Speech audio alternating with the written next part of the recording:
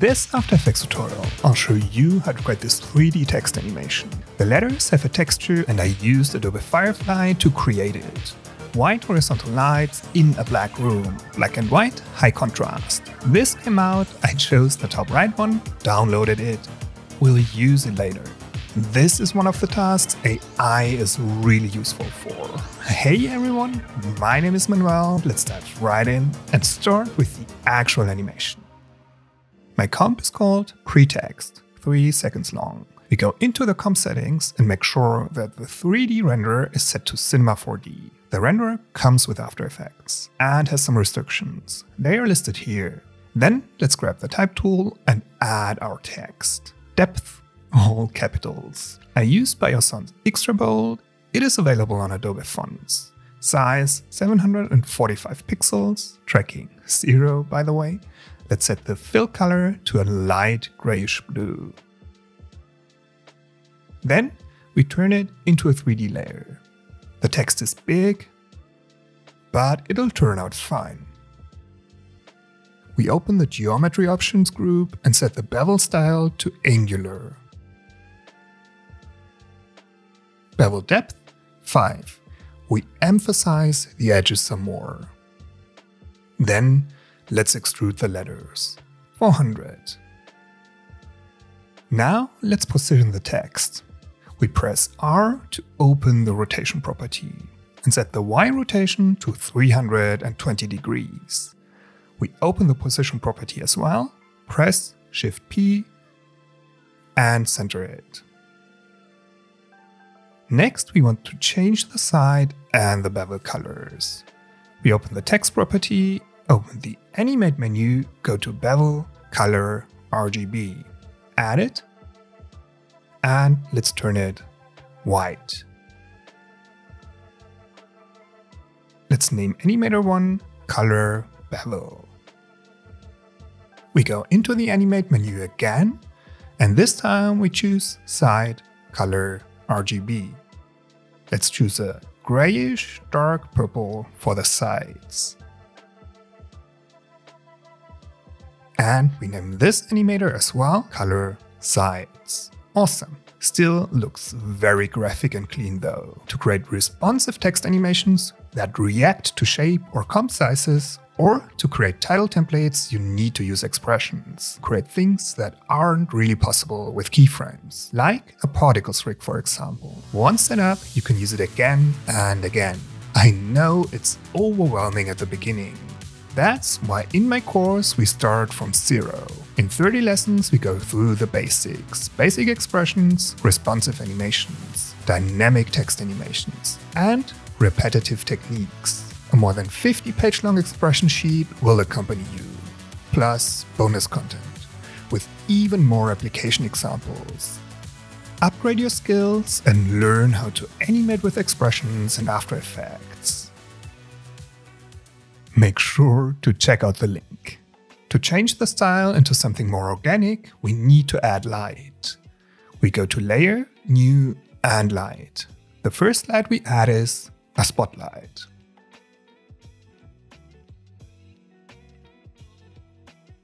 Let's position it, move it to the left, above the corner of the first letter.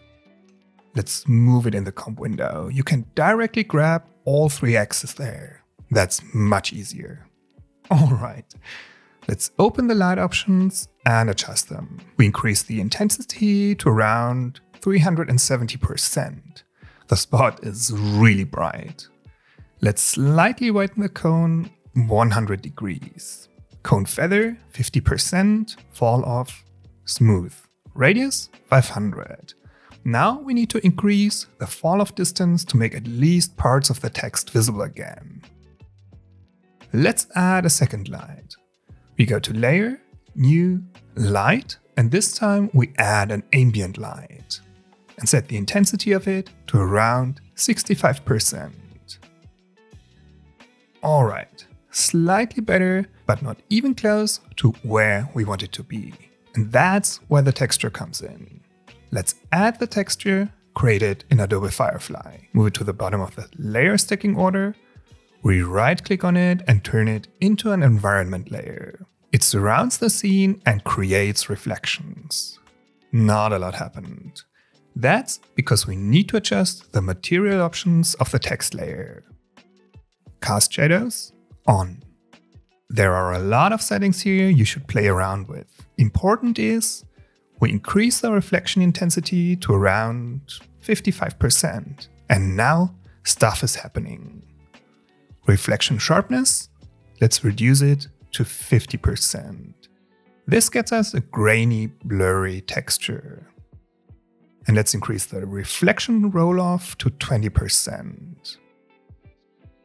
By rotating the texture, you can adjust it. X, 340 degrees. Y, 180 degrees maybe. That's all up to you, of course. And now we have a much more organic looking, grainy texture. Time to animate the letters. We open the text layer, go into the add menu and add a position animator. We open the animator group, it has only two dimensions. We need to go into the animate menu once more and enable per character 3D. And now we can move the letters in all three dimensions, out of the screen. Negative set values mean you move towards the camera. We set a start keyframe at the beginning. Then set the value to 100% at 1 second.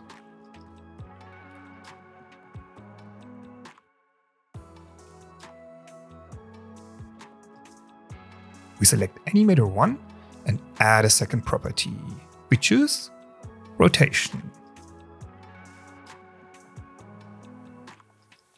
Let's set X to 250 degrees. And that rotates the letters while they move to their end position. The preview renders, and you can see how the texture, lights, and shadows react to the moving letters.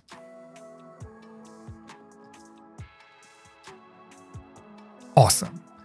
I think we need a little bounce though. We close Animator 1, select the text group, open the Animate menu once more, and add position again. And this time we set the position value to 150 pixels. We offset this animation by 2 pixels. Set a start keyframe at 2 pixels. Set it to 100% at 1 second and 2 pixels. Let's adjust the position of this upper keyframe. It's supposed to be at 1 second. Let's move 2 frames to the right and set the new start keyframe. 100%. Awesome, adds more energy to the animation. As the Cinema 4D renderer comes with restrictions, we take this comp and add it to a new comp. We drag it onto the comp icon. Let's name the new comp 3D text animation. We go into the comp settings, Command or Control K, and this time we set the renderer to Classic 3D which gives us all the options we need. So you can combine different renderers. We right click on the pretext comp and add a layer style, a stroke. Let's increase the size and change the color.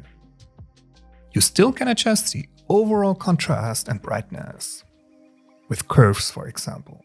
Check out my course, Animating with Expressions, to learn more about how amazing expressions are. The link is in the description. On the left side, I've added a video you might like. Thanks for watching this one. See you in the next one. Bye everyone.